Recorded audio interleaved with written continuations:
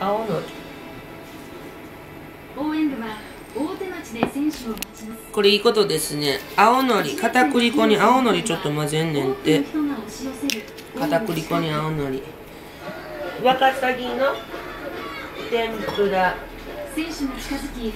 ワカサギの天ぷらととんかつさん。炒むわこれはい使っとかんとあかんかってんこれ